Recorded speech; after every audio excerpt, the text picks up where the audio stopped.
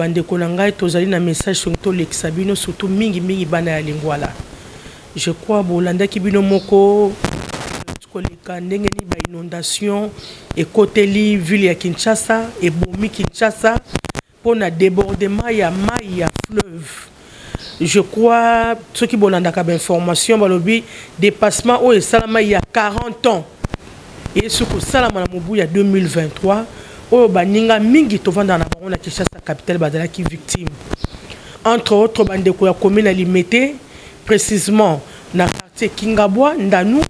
bomoni ndenge bato bakufi bomoni ndenge bandako etondi na mai kino na mokolo ya lelo tomoni site oyo bato mibandaki koenvie cité du fleuve ezali na kati ya komi na limete toujours na kingabwa esika oyo wapi bandako nyonso bato basundola suite ya mai mai eleki edeborde ekoti na bandako ekoti na bachambre ebebisi biloko ebele totali lisusu na komini ya njili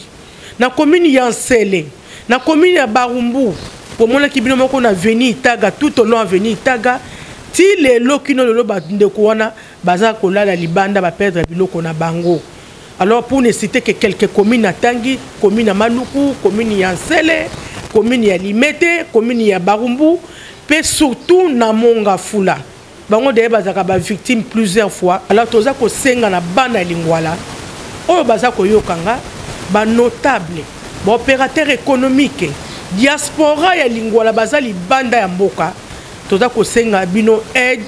na nkombo ya fondation maluwa oyo azali kotambola en partenariat avec le, le bourgoumestre ya bakomi na kinshasa mpo na kobeta mbela kosenga mwa eloko ya moke toyebana kosunga bandeko à travers cette fondation fondation maluwa c'est vrai nayokaka yango banda kala existaka mais komona œuvre ya boye nsima ya mikolo un mois demi baninga baza na kati ya souffrance fondation maluwa kaka na esprit na ye ya mawa azalaka na yango mpo na kosunga bandeko mpe population azwi mokano ya kotambola Pourquoi meka koluka mwa lipa, mwa savon, mwa mungwa, pourquoi pas mwa quelque chose ekomonana pona koyeba ko venir en aide na bandeko na biso bakolaya kopase la nuit à la belle étoile. Kolala libanda ezali pasi bandeko. Imaginez-vous un foyer oyo ezali papa mama na bana 5 bazalaki na esika mosusu te obele lopango wana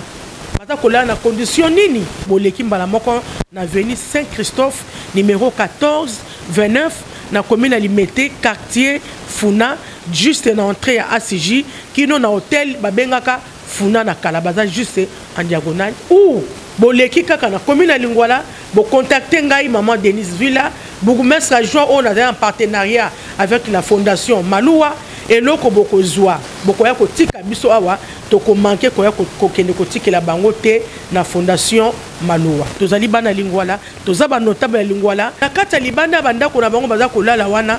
ekoti banyama ekoti magorodo ekoti miselekete misusu na banyoka bakolaula bakozonga ndenge nini alors leta azwaki disposition kopesa bango basite esengeli bamela mpe mwa mai esengeli bamela mpe mwa koka esengeli balia mpe mwa lipa